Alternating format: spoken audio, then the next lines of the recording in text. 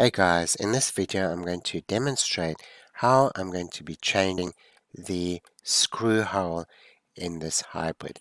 Now this has been made in Exocad and there's a few errors in the mesh structure. I'm going to go into the 3D print toolbox and then we're going to check them all.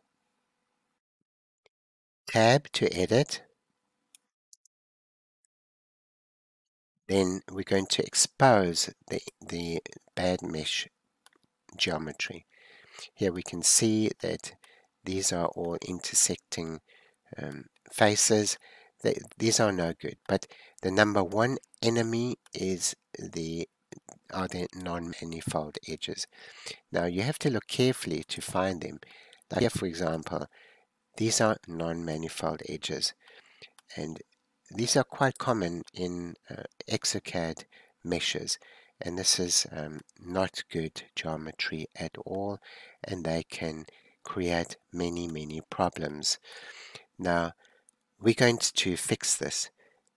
Go into the model designer tab to get out of edit mode go and click sculpt and there we're going to set this to about 10 and we're going to gently gently sculpt away those edges like that. That's it. Exit. Swivel it over all the way. Look at it from the top. Perfect. Tab, Alt A, vertex select mode, C key, mouse wheel, like that, right click, Control plus to grow your selection, swivel it across to the other side, C key again, C key mouse wheel button down, like that, C key mouse wheel button down, perfect. Hit the P key and click on selection. Now we've separated the two mesh structures. Perfect. Hide this one for now. H to hide. Look at this one, tab. Look at it from the top in transparent mode. C key, mouse wheel, right click, X, delete the faces. Yeah, if you delete the faces, you will not have all these vertices coming out of the side. In the model designer, click on fill holes. Out of transparent mode, sculpting, right click, set your radius, and give it a quick smooth like that. Do the same for the tooth. Perfect. Exit. Now, Alt H to unhide, H to hide the hybrid. Choose your interface tab, Shift Alt left click to select that rim, F to make a face. This is exactly what we want.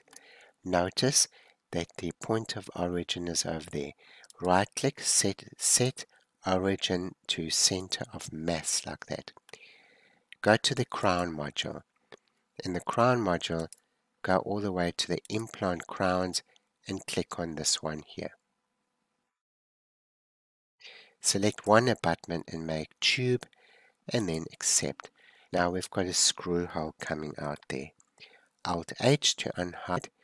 Then what we're going to do is we're going to select your hybrid and we're going to click on generate implant fixture and then we're going to wait for it.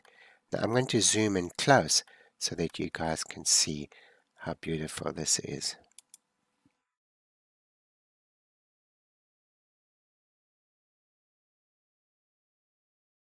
How amazing is that? Tab, let's have a look at the mesh structure. Alt A to deselect. Now we're going to click on Smooth with Protection. Right click. You can see how everything is protected and we can give it a beautiful smooth finish.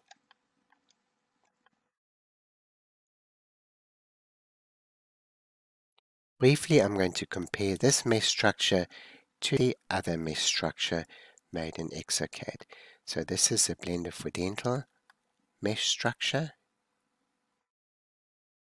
and we're going to go to the Exocad mesh structure to compare the two mesh structures.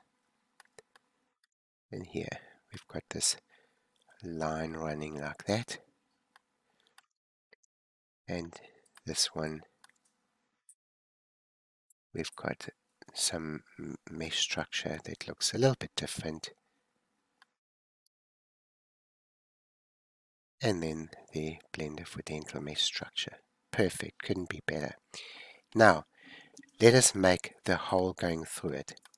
Select it and click on 30 degrees. We're going to add a few more uh, very soon because the dynamic implants go up to 45 degrees, which is absolutely incredible. Slide the Z axis like that. Look at it in transparent mode and then set this up. Now we can make this a little bit smaller but you need to check how what your diameter of your screw is just to make sure that the screw channel is not too small or too big.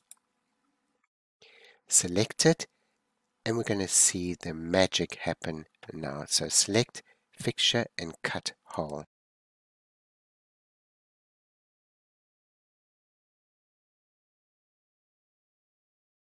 How amazing is that?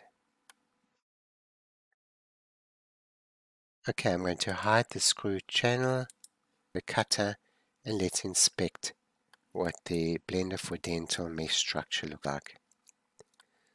So note we've got the supportive ring going all the way around to make sure that it's not too sharp and nothing can chip away. This is about 0.2 millimeters.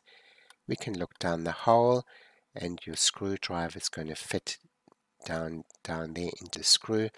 Also note what the geometry looks like on the inside of the screw hole. Let's compare that to the others of, of the other one. So this is what the other screw hole, which has not been made in Blender for Dental, here like that. And let's have a look here at this one. So there's a remarkable difference between the B4D mesh structure. Finally, we're going to check the mesh one more time, check all, in the 3D print toolbox in Blender. So tab to go into edit mode, let us have a look at the intersecting faces.